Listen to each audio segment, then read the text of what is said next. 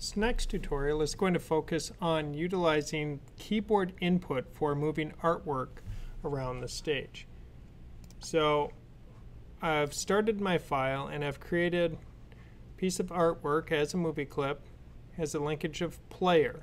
Now do notice that the artwork is centered, so it's not registered by its left corner. That will just be a little bit easier as we start moving the artwork around the stage. So we're going to have to listen for keyboard input and then update the position of the artwork on stage based on that keyboard input.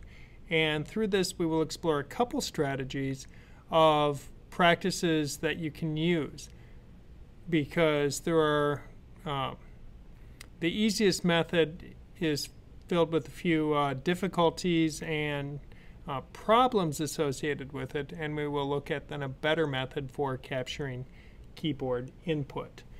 So I have my player started. I'm going to save my file. Now to start coding with it, var player,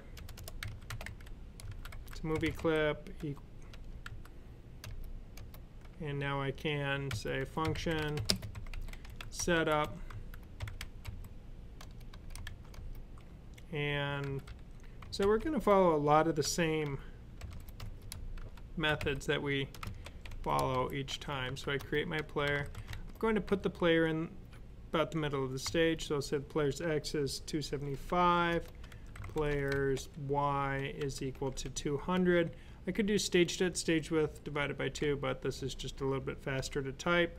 Since this is just a demonstration piece or proof of concept, I would expect in your projects that you use more discretion with it. So I can save, run my project, and we'll see that there is absolutely nothing on screen because what I still need to do is I need to, at the very end, call my function, my setup function and now I'll see there's player and it's waiting for keyboard input. Now capturing keyboard input requires you to listen for when a key has been pressed and then you have to listen for when a key has been released and when that occurs it sends out a message. It says, hey, guess what? This key was pressed, and we can identify what key, and we can also identify which key on the keyboard is released when that event happens. So these are events that we can listen for. So I can say stage dot add event listener. Now the disadvantage here is it's not going to be giving me the information that I need for code completion unless I have that import statement or that event already registered. So in lieu of finishing adding this, I could start typing in that function so I get better completion. And this is going to be, this is my key down function. And it's a keyboard event. So if you notice, I just typed KYB and then E, and then it works out to give me what I need and then I can complete that. Now I'm going to have much better code completion. And we'll have a function key up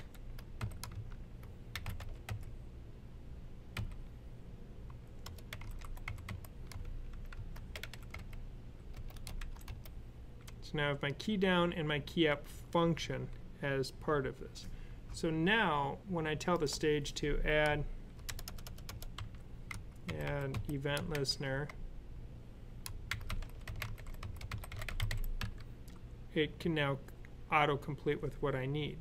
So I'm going to have a key down,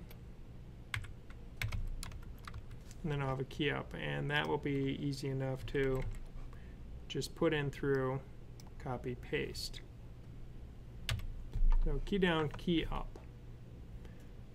Now, if we want to prove this is working, I could certainly put in a trace statement and say, hey, trace what's going on.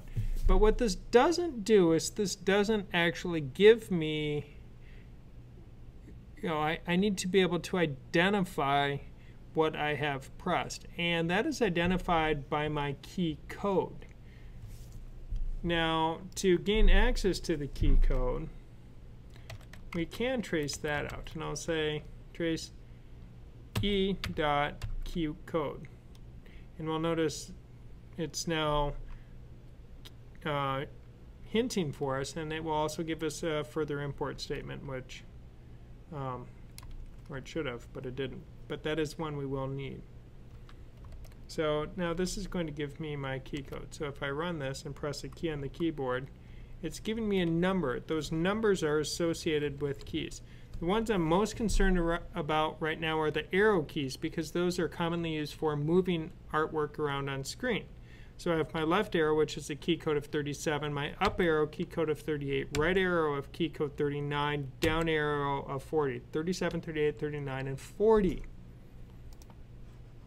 So knowing that, I can listen or respond to those key codes. So this is also something that's really nice about it is if I ever forget those numbers, I just trace out the key code for what I'm looking for here, which is quite nice.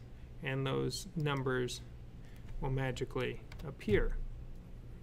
So I'm just going to comment that in case I want it later, if I want to find the key code for space or something like that.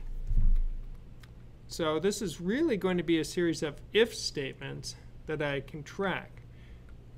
So I could say if dot key code is equal to 37, that would mean I press the left key.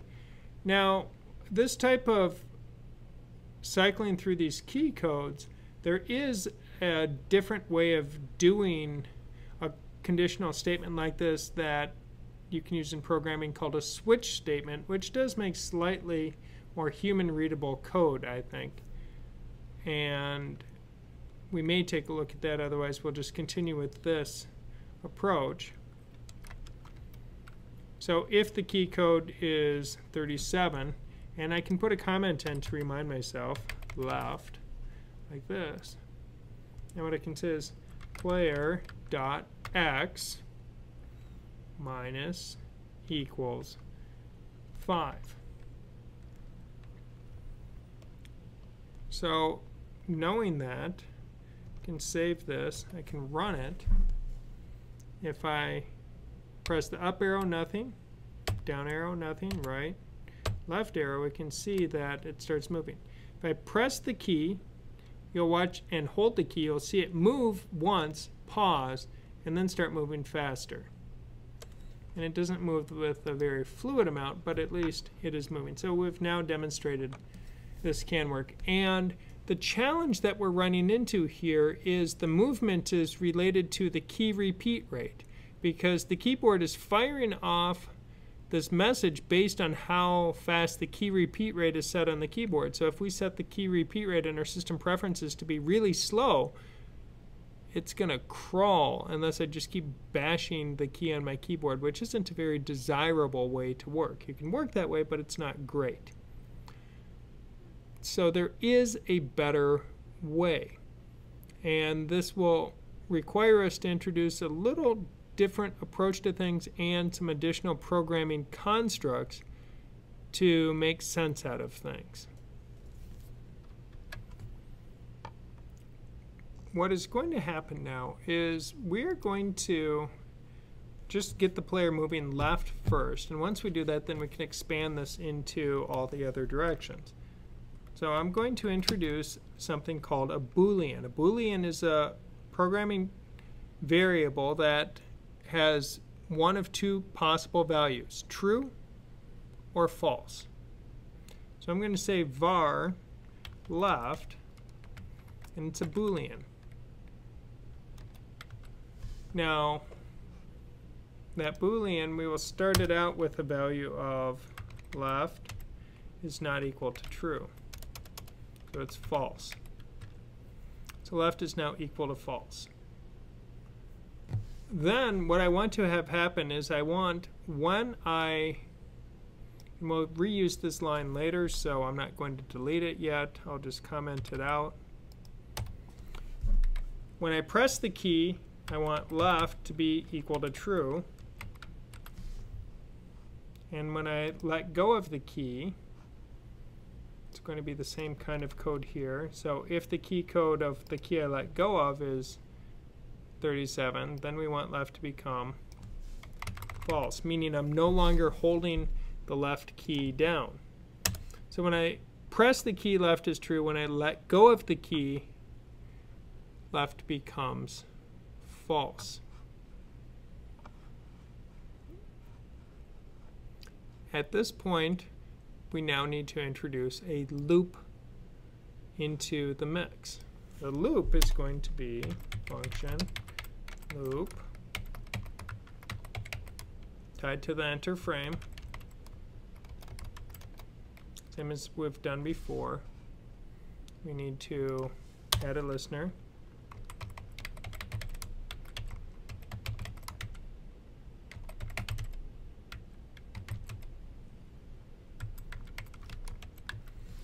We've now added the listener for loop. Loop is going to run, and it says if left. So if left is true, so if we just say something in our conditional, we're asking if that's true. If we wanted to say if left is equal to false, we could use our shortcut version of exclamation mark, which means not. It's a negation. But we say if left, then at this point, this is where I'm now going to use my player line. So what will happen is loop will run. If left is true, it starts moving the player. But now instead of updating based on the key repeat rate, it's now updating based on the frame rate. So it can now update 24 times per second. So it's going to be substantially better. So now when I press the key, nothing happens. It appears, as I, I, try to get this to move and nothing's happening, what's occurring is I committed the cardinal sin of copy paste and I changed one part and forgot to change the other part. So I need to also have a key down and a key up. So both key down and key up, which meant key up, the second key up was registering, so left stayed false, therefore it wouldn't move. So now if I press the key, let go, press, let go. And we can see that it's moving much better than it was moving when I was tied to the key repeat rate. So now what's really left is to add in the remaining directions of left, right, up, or down. Now typically you pair left and right together because they mutually cancel each other and you pair up and down together. So I wouldn't use four if statements in my loop, but then I would use something along the lines of else player dot x plus equals 5. So, oh, and it should be else if right So we have if left, it moves, else if, and it sometimes it's easy to, easier to separate it out. So we have left and right, they're mutually canceling each other. Now, the same way that I have a left, I'm going to need a right, uh, up, and a down.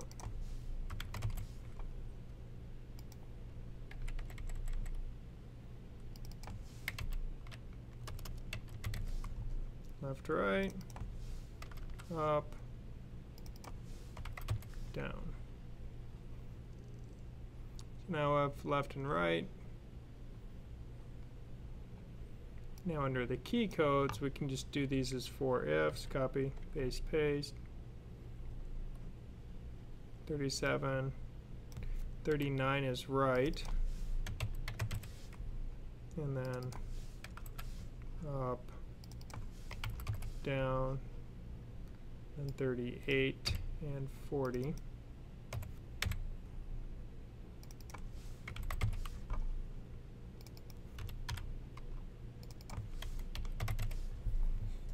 Now at this point,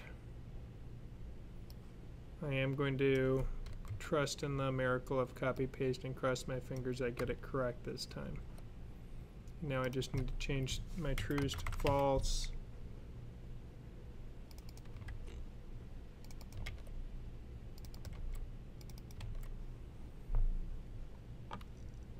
So now I have all my keyboard events up, down, left, right.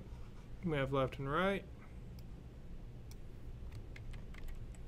And now I can change this to up and down. Change my X to a Y and X to a Y. So theoretically, if all goes well, I should be able to up, down, forward, back. So now you can see, and if I hold down two keys, I will move in approximately a 45 degree line. And you could work on restricting that if you're so inclined, but in most projects that's not going to be too troubling. You may decide that you do want your object to face where it's going. It's normal when you are building artwork in um, in Flash. I was hitting the wrong key. That from a rotational standpoint, you always point things to the right. So this is kind of a top-down person. So I'm viewing it like an old school gauntlet style game where you're looking top down. Not 3D, but just straight down. So with this, you always point your artwork to the right. That would be zero. So looking at the stage, so your artwork should always point in this direction. That is zero. And then flash, we can see what happens when we start rotating. So we'll work on rotating our way around the circle, choosing kind of four points. So then when we press a key, it rotates our character so it's moving in that direction. That will be slightly awkward when we move to work on moving in the if you're holding down two keys, but we can make it work as part of it. So we can put the rotation here,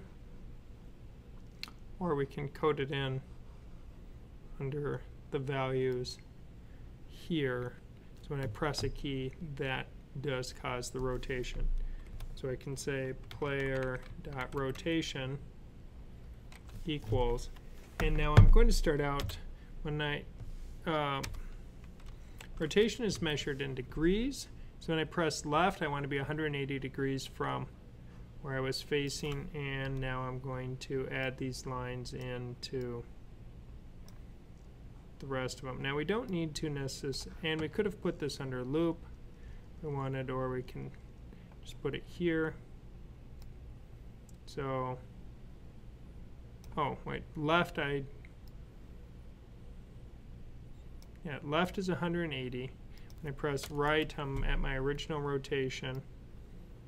And then we can go 90 and 270. We can rotate. Oh, the 90 and 270 need to be flipped a little bit. So when I press up, that's 270.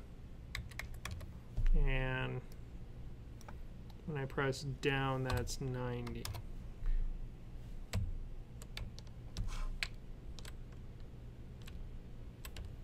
It starts to give us, so really my rotational arrow should be opposite of that.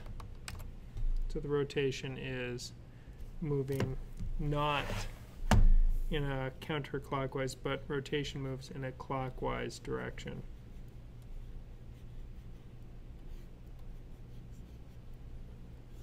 So the degree value, so we rotate clockwise around with zero starting here pointing to the right.